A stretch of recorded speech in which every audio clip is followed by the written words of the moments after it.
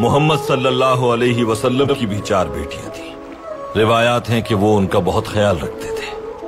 आपकी हदीस है कि अपनी औलादों से बराबरी का सलूक रखो। और अगर उनमें किसी को तरजीह देना हो तो अपनी बेटियों के साथ ज़्यादा हुसन सलूक से पेश आओ।